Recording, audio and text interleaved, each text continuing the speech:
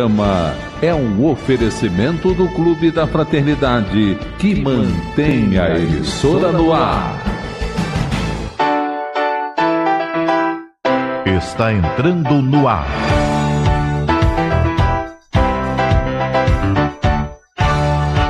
Educar para crescer.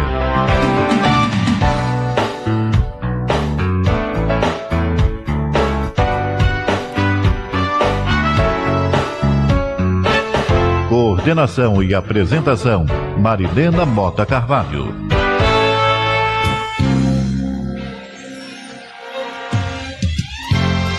Olá, queridos ouvintes da Rádio Rio de Janeiro, pessoal do Facebook, a todos. Estamos no ar agora com o nosso Educar para Crescer e queremos muito agradecer a todos pelo carinho, pela atenção, pelas vibrações, pelo sorriso. Muito obrigada a todos. Como agradecemos também a toda a equipe da Rádio Rio de Janeiro que permite nosso programa no ar. O telefone que está à disposição dos nossos ouvintes é o 3386 1400. 3386 1400. Nosso convidado de hoje é o Pedro Figueiredo. Eu estava olhando, gente, o tempo está passando muito rápido. O Pedro esteve aqui em agosto de 2013. Nós já estamos em 2017. Quanto tempo, né, Pedro? É, Nossa. É muito importante estar de volta e agradeço aí. Nós é que agradecemos. vibração. Olha, o Pedro, ele é do Eurípides Barçanufo, lá na Taquara. E ele vai passar para nós o é, endereço, telefone, horário das reuniões públicas, da evangelização. Então, para os cumprimentos iniciais, Pedro Figueiredo. Então, meus irmãos, minhas irmãs, é, boa tarde. É, a Casa Espírita Eurípides Barçanufo fica na Gazeta da Tarde, Rua Gazeta da Tarde 235, na Taquara, em Jacarepaguá.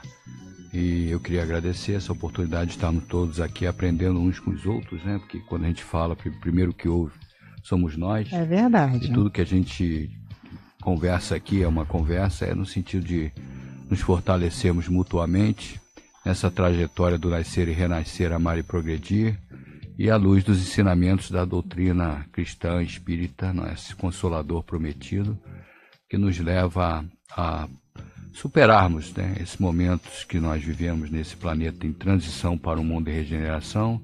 Estamos aqui nessa vibração em uníssono, né? Isso, e vibrando aí para, que seja um excelente programa como tem sido. com certeza. Por favor, o Centro Espírita Eurípides Barçanufo, endereço, telefone.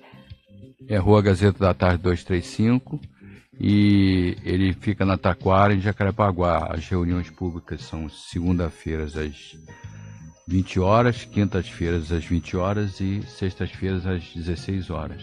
E a evangelização, É segunda e quinta às 20 horas. muito bom. Bem, é, tem telefone?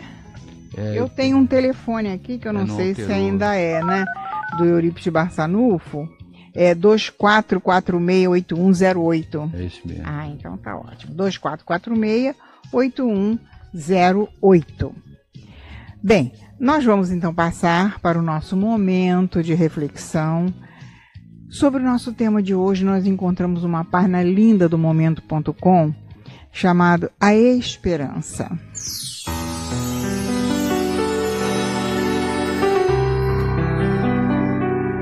Há dias que temos a impressão de que chegamos no fim do caminho. Olhamos para a frente e não vislumbramos mais saída. Não há uma luz no fim do túnel e não há também nenhuma possibilidade de volta. Parece que todos os nossos projetos, nossos objetivos foram levados para bem distante e estamos sem possibilidade de alcançá-los. Parece mesmo que o outono da existência fez com que secassem as nossas esperanças e o vento forte do inverno varresse das nossas mãos todos os sonhos acalentados. A morte vem e arrebata os afetos da nossa alma, deixando-nos o coração dilacerado. Sentimos-nos perdidos, não sabemos que rumo tomar, ficamos atônitos. Sentimos-nos como uma árvore ressecada, sem folhas, sem brilho, sem motivo para viver. É a desesperança. De repente, Como acontece com a natureza, a primavera muda toda a paisagem. As árvores secas enchem-se de brotos verdes e logo estão cobertas de folhas e flores. O tom acinzentado cede lugar às cores verdes de tonalidades mil. É a esperança. Os entes caros que nos antecederam na viagem de retorno à pátria espiritual um dia estarão novamente junto aos nossos corações saudosos num abraço de carinho e afeição. Tudo em a natureza volta a sorrir. A relva verde fica bordada de flores de variados matizes, as borboletas bailam no ar, os pássaros brindam-nos com suas sinfonias harmoniosas. Tudo é vida. Assim, quando a chama da esperança reacende em nosso íntimo, nossos sonhos desfeitos são substituídos por outros anseios. Nossos objetivos se modificam e o entusiasmo nos invade a alma. Jesus, o sublime Galileu, falou-nos da esperança no Sermão da Montanha, com o suave canto das bem-aventuranças. Exemplificou-a nos seus ditos e feitos enfim, toda a sua mensagem é de esperança. Se formos visitados por qualquer dissabor e o desespero nos tomar de assalto, busquemos o nosso amigo maior, Jesus, através da oração. Predispondo-nos pela prece, a ajuda chegará certamente, como suave bálsamo a penetrar nas fibras mais íntimas do nosso ser dando-nos alento e tranquilidade. Se a desesperança acercar-se de nós, lembremos o amigo celeste a nos dizer: Meu fardo é leve, meu jugo é suave. Se seu jugo é suave, por que não o aceitamos? Se seu fardo é leve, por que não o conduzimos? Consideremos que o rigor do inverno pode ser o resultado da nossa falta de cuidado, submetendo-nos ao jugo da mentira, da ambição desmedida, do pessimismo, das queixas sem fim. Ou talvez a desesperança resulte da nossa própria insensatez, carregando o pesado fardo dos prazeres inferiores, do orgulho, do egoísmo, da ganância, dos vícios de toda ordem e de outros tantos fardos inúteis que nos sobrecarregam os ombros, destroçando-nos as forças. Dessa forma, em qualquer circunstância, deixemos que a esperança nos invada a alma. Confiantes em Deus que sempre nos dá oportunidades novas para refazermos caminhos buscando a nossa redenção. A esperança deve ser uma constante em nossas vidas. Esperança de melhores dias, esperança de realizações superiores, esperança da paz. Narra-se que um monge, que vivia da mendicância sem abrigo, recolheu-se numa gruta para o repouso noturno em bela paisagem banhada de luar. Adormeceu. Veio um bandido e lhe furtou a capa de que se utilizava como agasalho. O frio da madrugada despertou-o e, dando-se conta do infortúnio, porém fascinado pela claridade da lua, aproximou-se da entrada da gruta e, emocionando-se com o que viu, exclamou: Que bom que o ladrão não me furtou a lua! E sorrindo, pôs-se a meditar. Desesperar? Nunca. Redação do Momento Espírita, com base na introdução do livro Momentos de Esperança, pelo Espírito Joana de Ângeles Psicografia de Valdo Pereira Franco, editora Leal.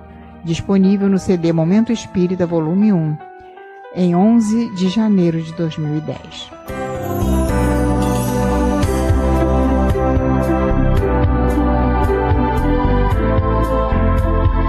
Rádio Rio de Janeiro. Continue participando. Está no ar. Educar para crescer.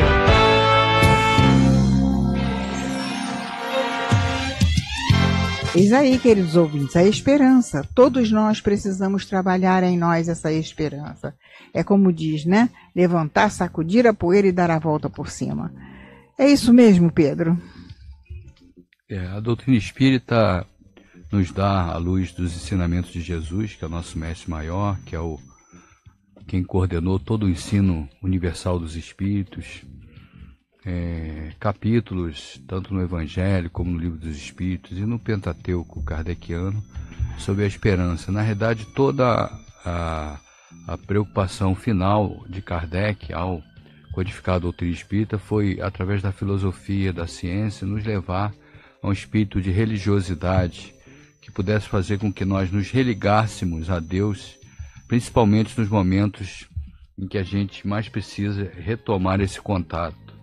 É, nós somos uma centelha divina, nascidos todos do mesmo ponto, simples e desconhecendo os caminhos desse nascer e renascer, amar e progredir, cada um com seu movimento reencarnatório na evolução das espécies, chegando ao reino hominal. E nesse reino hominal, reino dos homens, nós passamos por momentos muito difíceis, inicialmente saindo da era do extinto, quando deveríamos caminhar para um momento de paz, partimos para um momento de guerras, de divisões entre tribos, de divisões posteriormente entre os estados e atravessamos momentos históricos em que aqueles ensinamentos do cristianismo primitivo foram muitas vezes abafados, amordaçados mas Jesus sempre nasce através de vários vultos, não só da doutrina espírita, mas vários missionários do cristianismo e de outras doutrinas espiritualistas para nos trazer esse sentido maior da esperança, que é o que? É aquele desprendimento dos momentos de crise que nós vivemos para que nós possamos refletir sobre as origens e sobre as possibilidades de superação. E a doutrina espírita nos trazendo nascer e renascer, amar e progredir, e principalmente a certeza que temos na imortalidade da alma, no processo de reencarnação, nas inúmeras oportunidades que todos nós teremos, mesmo aqueles que cometemos em outras vidas ou nessas vidas erros, com maior ou menor gravidade, mas há sempre um momento de retomada. E a gente vê isso muito claro é, em André Luiz, no nosso lar, quando André Luiz, o médico materialista, uhum. que vai lá para, para as zonas umbra, umbralinas, no momento em que ele admite como uma criança a existência de Deus, em que ele chora, as portas se abrem para André Luiz e ele inicia uma nova trajetória, naturalmente fazendo um movimento de trabalho, de recuperação, de reaprendizado da humildade que todos Isso é nós é para todos nós, né? precisamos, mas sempre se abre essa porta. E quando a gente observa também na doutrina espírita, nenhum dos romances, que na verdade são histórias reais, né? não são romances imaginários, uhum. psicografados pelo Chico e outros autores, uhum. termina com um final de não superação. É. Né? Até quando a gente olha a libertação lá, o espírito de. É, o espírito de Gregório, né, que vinha de séculos em séculos permanecendo no, no erro, ao ser tocado pela sua mãe, ele tem então um momento de reparação e começa então uma nova jornada que naturalmente envolve reconstrução da sua existência. Aliás, de um modo geral, nesses romances, né, que os nomes são fictícios, mas sabemos que tem muito da, da, da, da vida real que é retratada ali, né? Tem sempre uma mãe para vir socorrer e auxiliar, né? É verdade, aquele cadinho da Pietà, né? Que representa a mãe, a mãe do próprio Cristo, né? Na cruz e, e Jesus como última, última mensagem na cruz, ao invés de ter passado desesperança, falou para João é, para Maria, mãe, esse é teu filho, filho, essa é tua mãe. No sentido de que, apesar da sua extrema dor de quem amou de forma incondicional a todos nós, ele pedia que prosseguissem no trabalho, mesmo com aquela dor lancinante. E a cruz também nos traz um ensinamento, uma convocação aos dois ladrões, um resignado que buscava o caminho da superação, mesmo no momento do último suspiro. Jesus diz: Você acredita na minha palavra? Então estarás comigo no outro Exatamente. patamar espiritual. E o outro, que se mantém revoltado, é, desafiando o próprio Cristo, provavelmente retardou um pouco mais o seu caminho de tomada de consciência. Porque o que é iluminação? É quando nós tomamos a consciência, ainda que de forma parcial, ainda que é, num, num, processo evolutivo sobre os melhores caminhos, os caminhos da iluminação de nossas vidas. Então a doutrina espírita ela vem através desse ensinamento filosófico, científico, mas para nos buscar uma religiosidade, um religar-se a Deus, nos trazer formas de sedimentar a nossa existência na Terra. E todos nós temos essa chance dada por Deus, não é, meu filho? Exatamente. Todos nós. Não tem ninguém que. Porque, como está muito bem colocado na obra lá kardeciana, né? Todos nós estamos fadados à perfeição. Uns vão demorar um pouquinho mais, outros menos, mas todos nós temos esse caminho, não é, Pedro? Exatamente. E, e o processo reencarnatório é exatamente para que aquele nenhuma das minhas ovelhas se perderá. Isso, essas afirmações não seriam possíveis Isso. se nós não, não tivéssemos oportunidade, mesmo oportunidade de provas e expiações que às vezes nós passamos em reencarnações que são de aprendizado, de provas ou de expiações de resgate de erros Exatamente. cometidos. Então, é, Deus, que é Pai de justiça, mas de amor e misericórdia, nos oferece oportunidades de superação. A gente vê isso em todas as obras de André Luiz, nas obras de Emmanuel. E, e a reencarnação, na verdade, é uma bênção em nossas vidas, tanto do ponto de vista intelectual, porque às vezes nós chegamos na, na quarta estação, né? Primavera, verão, E outono, eu achei linda essa colocação que ele faz, né? É, e parece que- as estações não se reiniciarão, mas elas se reiniciam. Sempre. Como disse Humberto de Campos, estou ao desencarnar, estou novamente aqui aos pés de minha mãe, lendo imen- aquelas imensas bibliotecas lá do plano espiritual. O Isso. nosso irmão X, né, grande acadêmico da Academia Brasileira de Letras, lendo de novo, reaprendendo, é, crescendo novamente. Imagine se nós terminássemos uma existência, eu falo pessoalmente, com tantas dificuldades é, de aprendizado, é, é, vocações que nós gostaríamos de ter e não temos. Isso, Cre- é, todos nós teremos é, oportunidades é, infinitas aí no campo das ciências exatas, ciências humanas. E todas as nossas aquisições desta encarnação, elas ficam conosco, são nossas, não é? Tudo que nós construímos é nosso, seja bom ou seja ruim, é nosso. E é essa nossa bagagenzinha que nós vamos levar ao desencarnarmos. Então a doutrina é, espírita, ela na realidade, ela fundamenta e por isso a importância não só é, da doutrina cristã espírita, mas de qualquer religião, né, que ofereça às crianças a oportunidade do contato com Jesus, né? É Porque. Jesus foi aquele que veio trazer esperança a todos, sem nenhuma preconceito. A sua trajetória desde a manjedoura até o Calvário foi de aproximação. É isso aí. A- ao ser questionado sobre a mulher de vida equivocada, ofereceu esperança. Ao ser questionado sobre o, o, o publicano, o coletor de, de impostos Zaqueu, ofereceu esperança e reparação. Né? Nos últimos momentos em que Pedro se mostrava depressivo por ter cometido aquela traição, né? Aham. é, a- ao mestre, ele veio e oferece a Pedro a possibilidade da condução. Ele vai resgatar Ju- Judas do Vale dos Suicidas para trazer novamente a, a esperança de novas encarnações. E Judas, em encarnações futuras, assume missões importantes. E a oportunidade que ele deu a Paulo, né? A Paulo, né, é, na estrada de Damasco. De Ou seja, Damasco. ele vem convocar para que a gente tenha caminhos de superação. Então, quando nós é, trabalhamos esse tema, a gente também tem que pensar um pouco no nosso Brasil. Lembrando de uma mensagem de Eurípides Bassanuro, a Sueli Calda Schubert, né, que ele, de 2013, que ele pede, se o Brasil é o coração do mundo e pátria do Evangelho, ele não pode sedimentar essa missão que ele tem de ser uma, um, um país que abre as portas para a diversidade de raças, de religiões, para as manifestações livres, ele não pode sedimentar isso com a desesperança. E a Exatamente. desesperança produz miasmas, não só no nosso mundo material visível, mas no mundo espiritual, ao ponto de Eurípides dizer que a nossa desesperança também os afeta.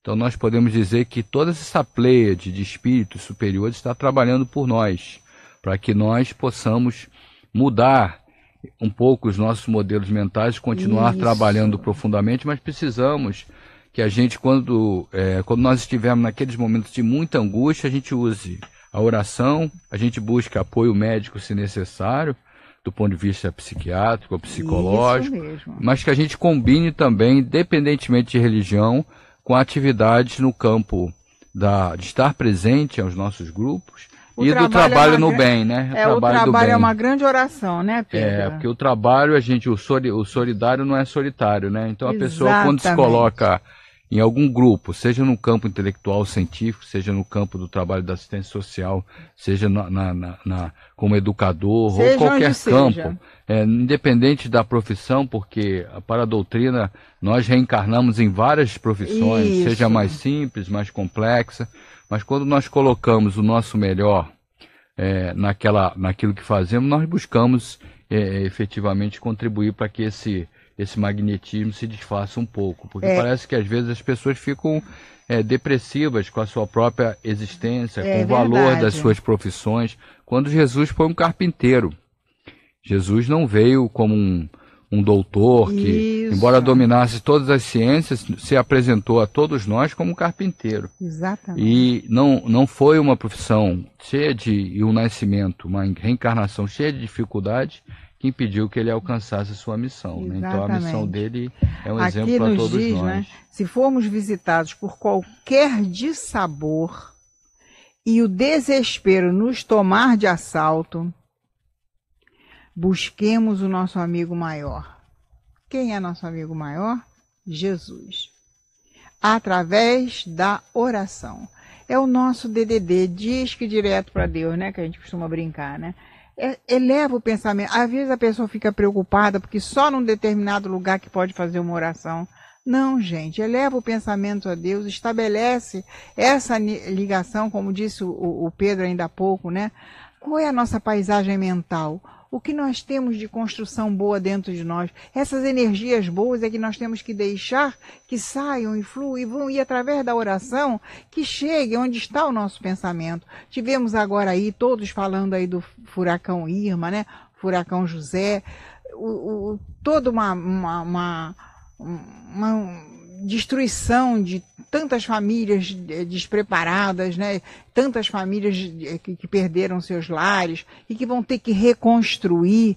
Mas vamos vibrar a nossa oração para aqui, porque eles têm força. A gente vê que uns se abatem, mas a maioria parece que foi preparado para esse momento, para ter essa força interior para seguir adiante.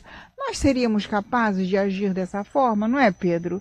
Será, será que nós teríamos essa força que a gente está vendo no depoimento de muitos para seguir adiante? Então é para a gente pensar, a gente tem que fazer essa revolução dentro de nós.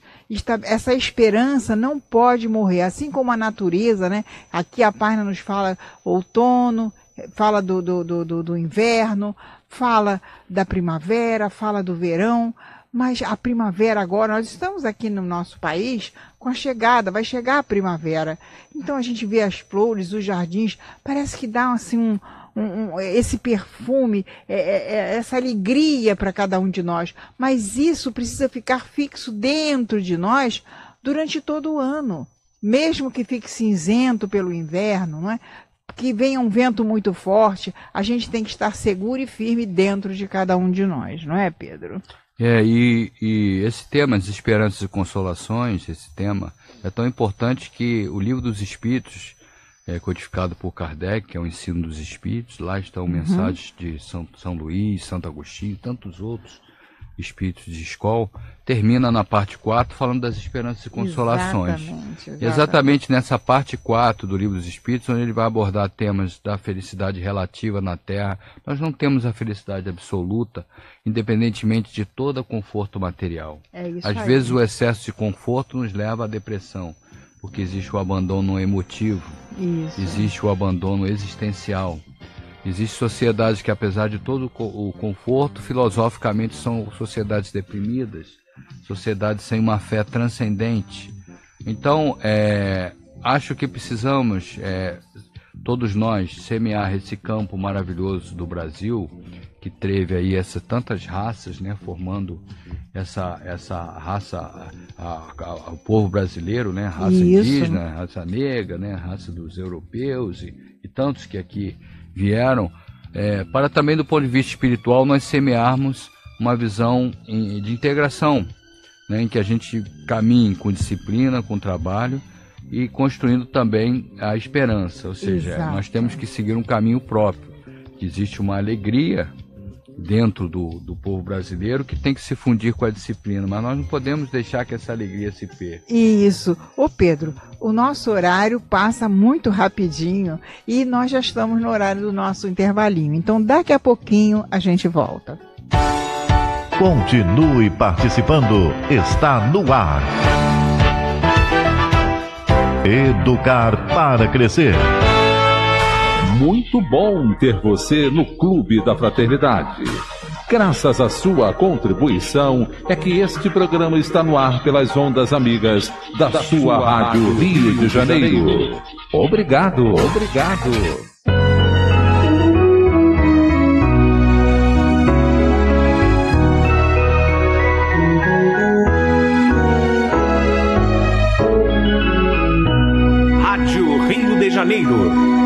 1400 AM. Se você é participante do Clube da Fraternidade da Rádio Rio de Janeiro e não receber o boleto bancário até o dia 10 de cada mês para realizar a sua contribuição mensal, entre em contato conosco para que possamos enviar uma segunda via do boleto. Para isso, ligue 0 Operadora 21 33861422 ou envie mensagem para o e-mail clube da fraternidade arroba rádio Rio de Janeiro ponto am ponto br. Lembre-se, não recebendo o boleto bancário, entre em contato para emitirmos a segunda via do boleto e continuarmos juntos na, na família, família Rádio Rio de Janeiro. Atenção ouvinte e mantenedor do Clube da Fraternidade da Rádio Rio de Janeiro. Você que ainda não atualizou seus dados cadastrais, precisamos atualizá-los. Para isso, envie preferencialmente seus dados para o e-mail clube da fraternidade arroba rádio Rio de Janeiro.am.br ou ligue para 0 operadora 21 3386 1404 ou 3386 1422, informando nome conforme cadastrado em seu boleto de contribuição, número do CPF, telefone, endereço completo com CEP, a data de nascimento e o e-mail. A Rádio Rio de Janeiro agradece sua colaboração. Vem aí o terceiro feirão beneficente Pro Remanso Fraterno. Exercite o amor, fazendo a sua parte nessa história. Venha participar você também do Feirão Beneficente Pro Remanso Fraterno. Teremos muitas atrações musicais, artesanatos, livros, CDs, lanches, almoço, além de outras deliciosas comidas. Dia 24 de setembro, domingo, de 9 da manhã às 5 da tarde, no Centro Educacional de Niterói, Centrinho, localizado na rua Itaguaí, 173, Pé Pequeno, Niterói. As casas espíritas que desejam participar do feirão, solicitem sua ficha de inscrição pelo e-mail sejaeditora.gmail.com. Esse é o terceiro feirão beneficente Pro Remanso Fraterno. Mais informações pelos telefones 021 2601 3296, 2620 7566 ou através do Facebook. Terceiro Feirão Beneficente Pro Remanso Fraterno. A Olimpíada Brasileira de Matemática das Escolas Públicas é a maior competição de estudantes no Brasil e este ano está ainda maior. Agora, os alunos das escolas particulares também participam da OBMEP, que está unindo todas as escolas do país para descobrir novos talentos e melhorar o ensino da matemática. A prova da segunda fase será no dia 16 de setembro, sábado, às 14h30, horário de Brasília. Consulte os locais de prova em obmep.org.br. Alunos classificados, participem. Ministério da Educação, Governo Federal. Já está nas bancas o jornal Correio Espírita, leia na edição de setembro. Chico Xavier não foi a reencarnação de Allan Kardec. Não fique na solidão. Veja por que evitar o isolamento é importante. Saiba mais sobre o destino do ser e entenda a relevância da educação para a morte. Esta e outras notícias você encontra no Jornal Correio Espírita. Assine já pelo telefone 27212505 de segunda a sexta ou pelo site correioespírita.org.br.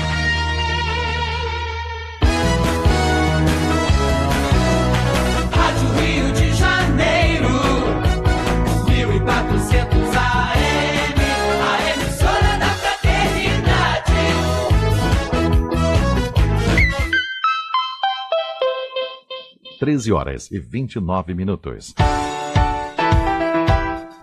Voltamos a apresentar Educar para Crescer.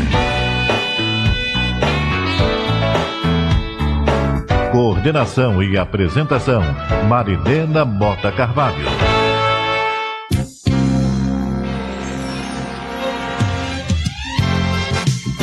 Estamos de volta, queridos ouvintes da Rádio Rio de Janeiro, da internet, do Facebook. Obrigada a todos pelo sorriso, pelo carinho, pela alegria e pela esperança que cada um está construindo dentro de si para dar continuidade nesta encarnação de todo, todos os compromissos assumidos né, com Deus, nosso Pai Criador, com Jesus, nosso, me- nosso Mestre, com a família, com todos. Eu estava aqui comentando com o Pedro que eu recebi é, hoje, né? Eu já tinha recebido outro dia e hoje eu recebi novamente é, de um outro grupo, né? Essa mensagem que fala assim, simples assim. É sempre bom lembrar que é em casa que as crianças devem aprender a dizer bom dia, boa tarde, boa noite, por favor, com licença, desculpe, muito obrigada. É em casa também que se aprende a ser honesto, a ser pontual, não xingar, ser solidário, respeitar os amigos, respeitar os mais velhos, respeitar os professores principalmente. Também em casa é que se aprende a não falar de boca cheia, a ser limpo, a não jogar lixo no chão. Ainda em casa é que se aprende a ser organizado, a cuidar de suas coisas, não mexer nas coisas dos outros. Porque na escola, os professores ensinam matemática, língua portuguesa, história, geografia, língua estrangeira, ciência, química, física, biologia, filosofia, sociologia, educação física, artes e reforçam o que o aluno aprendeu em casa. Então é uma campanha contra a inversão de valores e a favor de um mundo melhor. Isso é o que? Educação, gente. Basta que eduquemos a todos aqueles que encontramos em nossos caminhos. É simples assim, realmente, como começa a mensagem, não é? E o nosso Pedro Figueiredo, que é o nosso convidado de hoje, que está conversando conosco sobre a esperança e está fortalecendo, aclarando nossas ideias para boas reflexões, para que a gente não perca a nossa esperança nunca, está aqui conosco para dar continuidade ao nosso tema de hoje. Estou recebendo do Pedro Luiz do Valqueire, estou na escuta gostando muito do programa, parabéns, abraços, muito obrigada Pedro Luiz do Valqueire, um abraço para você e toda essa turma aí do Valqueire. O Márcio de Belfor Roxo, estou na escuta gostando muito do programa, um grande abraço a todos. Muito obrigada Márcio, essa galera toda aí de Belfor Roxo. Também o Marcos Juber, nosso querido irmão, que já esteve conosco aqui no Educar para Crescer várias vezes, né? Estou muito emocionada em ouvir o meu querido irmão desta e de outras vidas, Pedro Figueiredo. Um grande abraço para a querida Marilene e para o Pedro. Muito obrigada, Marco. Um beijão para você, meu filho, para a família, para todos. E o Luiz da Ilha, que está dizendo, sem dúvida, o Espiritismo é uma expressão da esperança do ser humano. Na doutrina espírita, encontramos o princípio da perfectibilidade essencial do ser humano e da sociedade. Entendo que o ser humano não seria ser humano se nós não fôssemos perfectíveis e somente isto nos dá esperança de um futuro melhor, porque a natureza sempre serve às suas leis pré-estabelecidas e não nos abre uma perspectiva do futuro. A propósito, lembro o recente caso dos furacões. Por favor, Pedro. É, é muito importante é, esse caminho da perfeição, e perfeição não significa que nós, nesse nascer e renascer, amar e progredir, não estaremos, mesmo nos mundos mais adiantados, aprendendo, porque Deus é só Deus tem todo o conhecimento. Mas o estado de perfeição significa quando nós alcançarmos um, um momento evolutivo que nós to- tomamos posse da nossa plenitude e aí sequer pensamos em mais nada errado, sequer precisamos fazer um esforço de perdoar porque não sentimos ódio nem rancor de nada. Como Jesus, Jesus não precisou perdoar porque Jesus nem sentiu sentiu compaixão, sentiu piedade pelos seus adversários, mas e educou a todos eles. Exatamente. Esse é um estado que nós ainda precisamos de várias, inúmeras encarnações, mas não significa que é, nesse mundo de regeneração que se aproxima, nós vamos já não estar com pensamento ético, com as sociedades mais integradas, numa globalização espiritual, porque não, não se trata apenas de melhorar as trocas econômicas pelo bem-estar comum, se trata também de melhorar as nossas vibrações pelo bem-estar comum. Então, quando nós estamos lá vibrando pelos nossos irmãos do, do furacão, Isso. para que eles consigam superar, nós também esperamos que todo mundo esteja vibrando pelo Brasil para que ele supere essa crise o mais breve possível. É o que esperamos. Esperamos que, a, que, a, que as lutas, no ponto de vista tanto materiais quanto espirituais, se apaziguem. E esse foi o ensinamento de Jesus. E na verdade, Eurípides, nessa mensagem de 2013, ele nos diz claramente que Jesus está no leme. E é, a mensagem, tudo passa, isso também passará, que foi ditada é, por Emmanuel Chico, não é isso? Ela também nos fala sobre isso, ou seja, todos os momentos passarão. Passarão as perdas que nós tivemos, passarão os breves desencontros que nós temos quando algum ente parte para o plano espiritual, passará a doença que nós temos, que nós, daqui a pouco nós repararemos nessa vida ou no outro plano, através da Isso, reparação do nosso exatamente. corpo espiritual, se nós tivermos que desencarnar de alguma doença. Passarão as nossas expiações, se nós eh, tivermos resignação para aceitar né, as dificuldades que nós temos, aceitar sem deixar de trabalhar, sem deixar de buscar o melhor possível, mas aquilo que nós não podemos modificar é, está na- nos desígnios maiores que nós recebemos antes de abrirmos mais esse palco de encarnação. André Luiz nos diz que a encarnação é um cálculo precioso de probabilidade. Então nós planejamos o nosso país, a nossa cor, o nosso corpo, a- o nosso DNA. Nós planejamos com a ajuda dos nossos amigos espirituais, como está em Missionário da Luz, de André Luiz, a nossa reencarnação, todo esse palco que se abre para nós. Então a, a pergunta é: muitas vezes nós nos revoltamos. Por que estou aqui? Por que estou nesse país? Por que estamos passando por essa condição? E não resolve o problema. Mas nós estamos passando pela, pelas provas e expiações que nós planejamos. Exatamente. Esses principais momentos da nossa vida, que é onde nascemos, o nosso corpo, a nossa família, são oportunidades de aprendizado ou de resgate quando há dores eh, individuais ou coletivas que não dependem da, da nossa ação. Então, a doutrina espírita nos ensina a observar isso como uma oportunidade de aprendizado, que às vezes é difícil, que muitas vezes nós precisamos estar juntos numa casa espírita, nas nossas religiões, não importa quais Isso, sejam, isso mesmo. à luz do, da prece direcionada a Jesus, que é o governador do planeta, que nos apoia nessa eh, intercessão junto a Deus, né? Porque ele foi Isso. designado como governador do nosso planeta.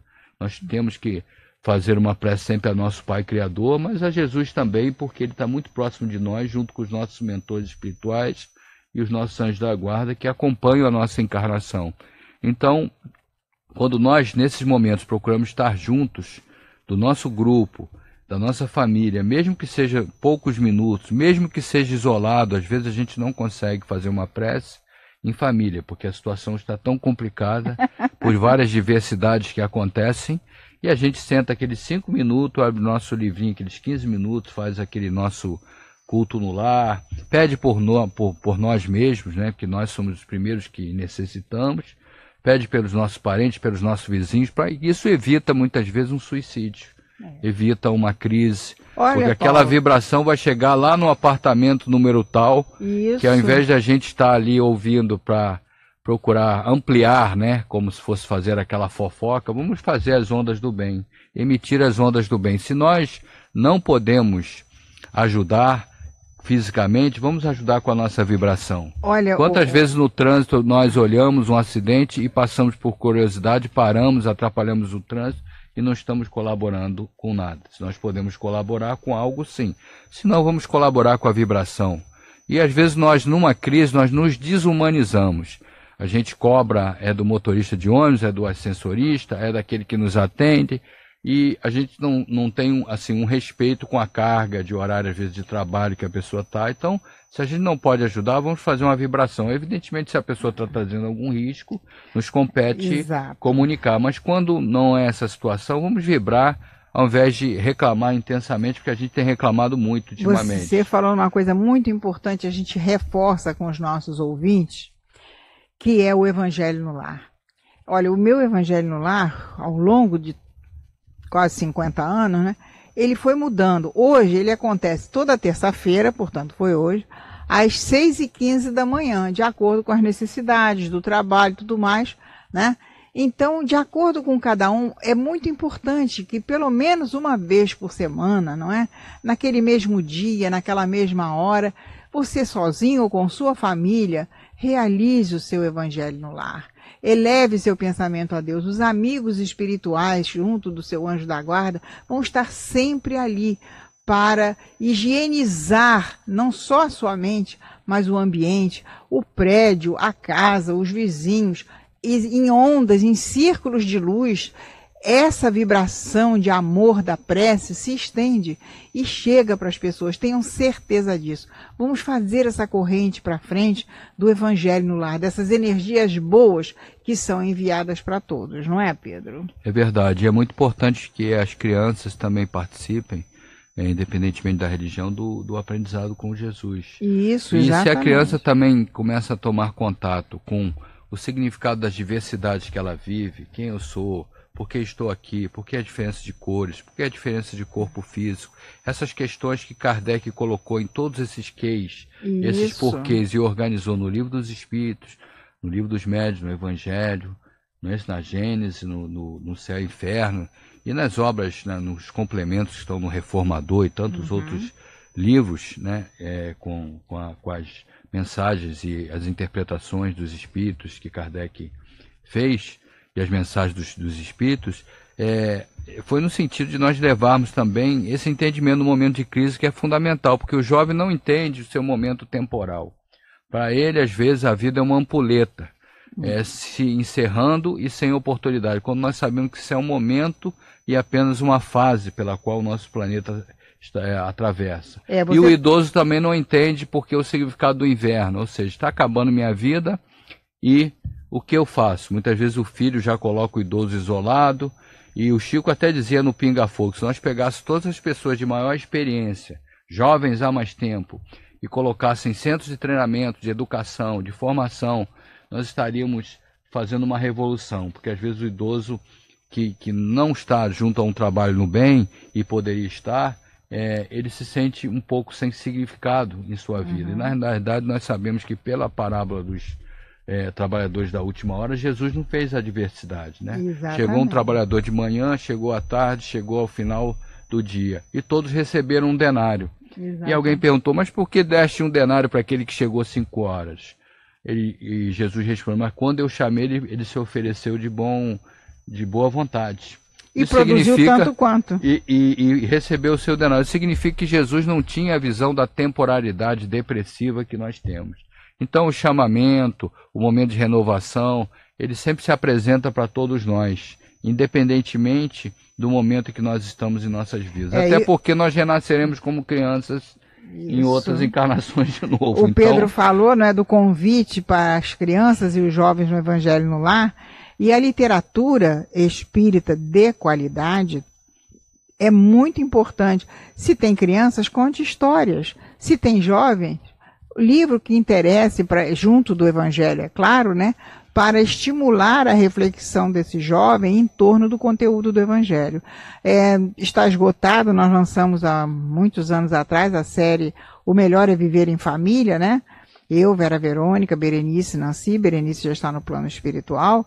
E essa série foi para Evangelho no Lar com Crianças, onde a gente tem uma história, tem um pedacinho do Evangelho, a página pequenininha de abertura, porque com a criança tem que ser adaptado ao nível da criança, não é? Porque senão a criança quer levantar toda hora, quer beber água toda do culto, quer fazer xixi toda hora. É criança. Então a gente tem que adaptar para a realidade da criança. E do jovem é a mesma coisa. Mas o mais importante de tudo é que a gente não deixe de oferecer Deus, Jesus, para as nossas crianças. Para os nossos jovens, para a nossa família.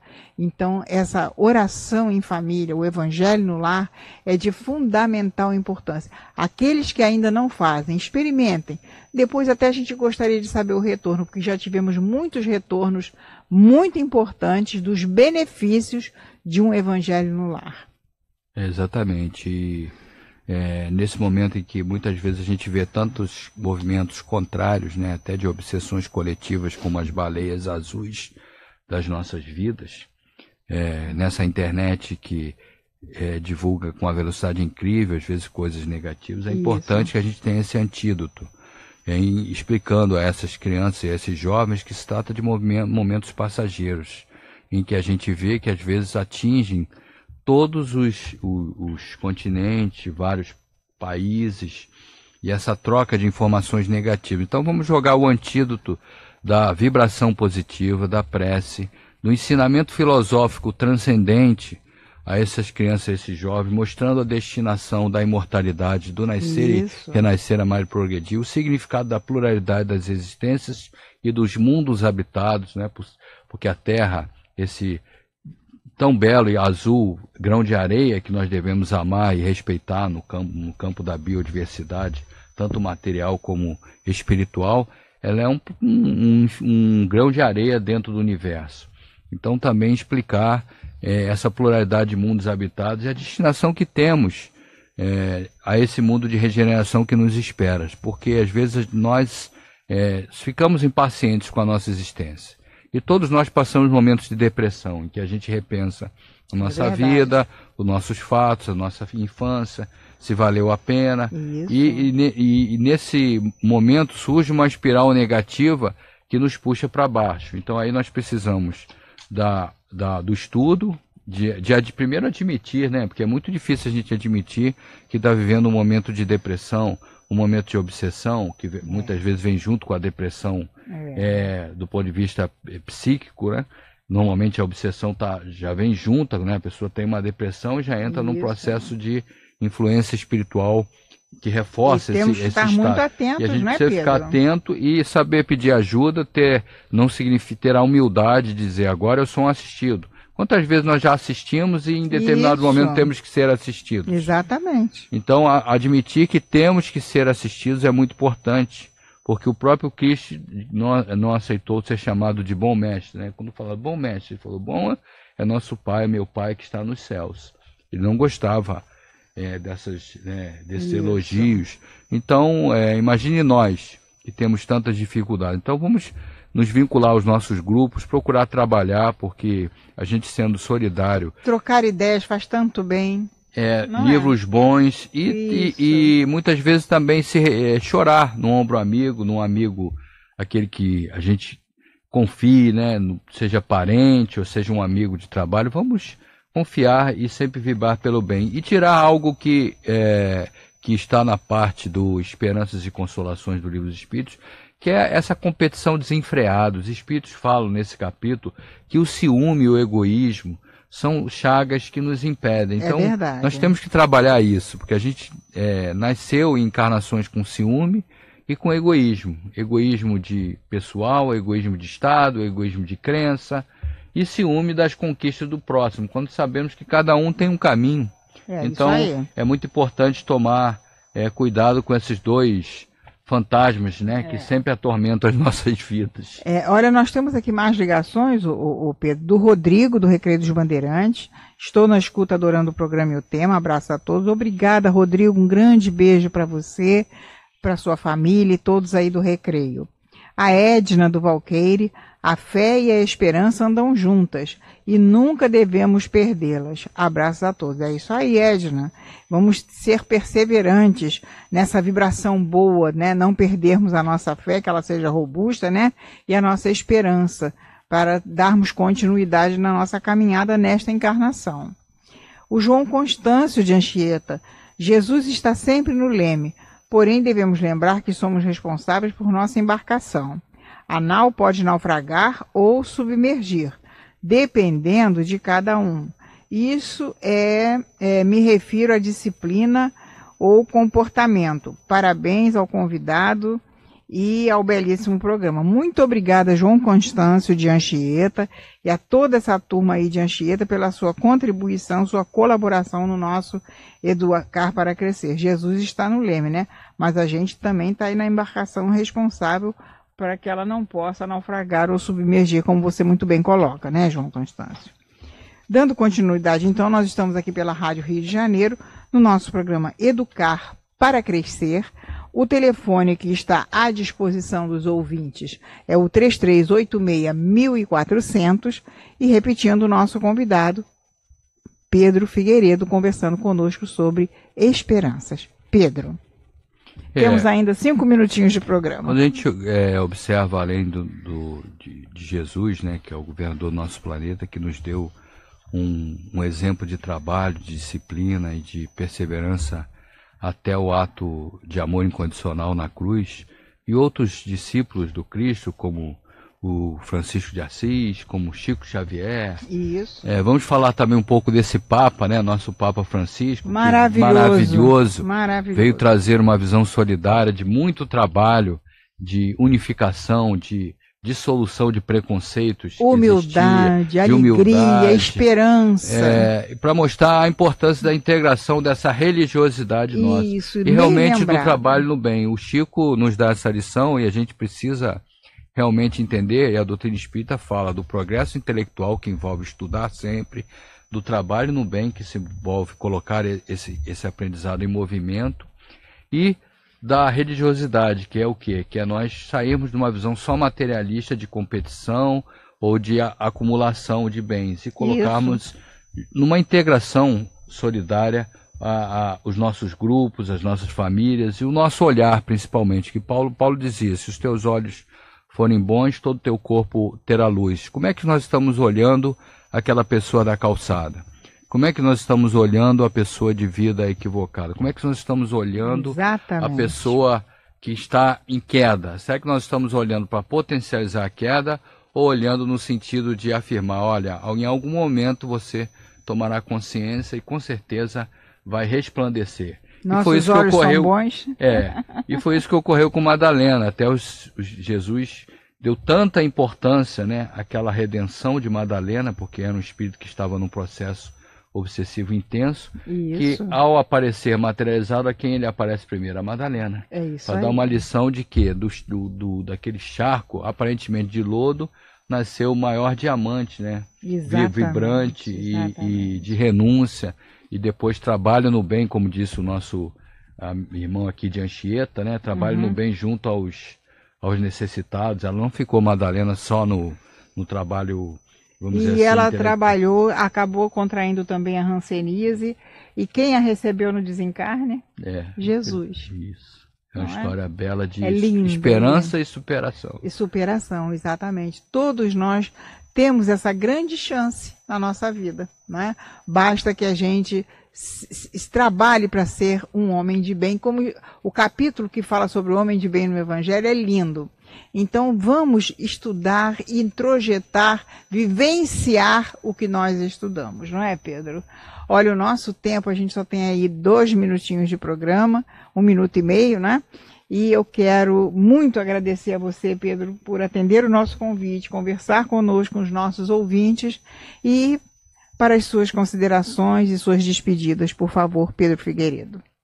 É, eu que agradeço, que a doutrina espírita, cristã espírita, é uma doutrina consoladora. É, nós passamos, todos nós, momentos de dores, dores filosóficas, dores existenciais, dores de perdas em diversos sentidos, e a doutrina espírita sempre nos abre uma porta de, de superação para que a gente, através do estudo, do trabalho e do, da continuidade desse grupo maravilhoso que são os nossos irmãos que buscam o trabalho do bem, independentemente de religião, falamos aqui em, em várias religiões, seja um ancorador em nossas vidas. Não vamos perder essas âncoras.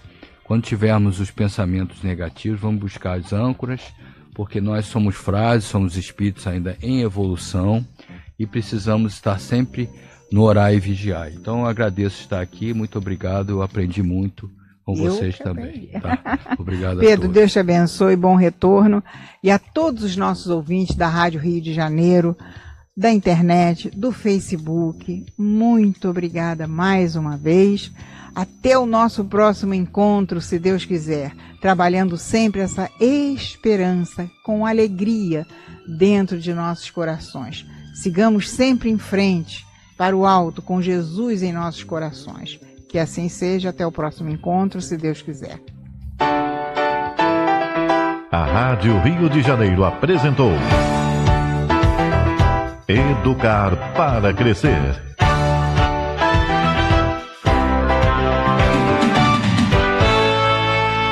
Rádio Rio de Janeiro.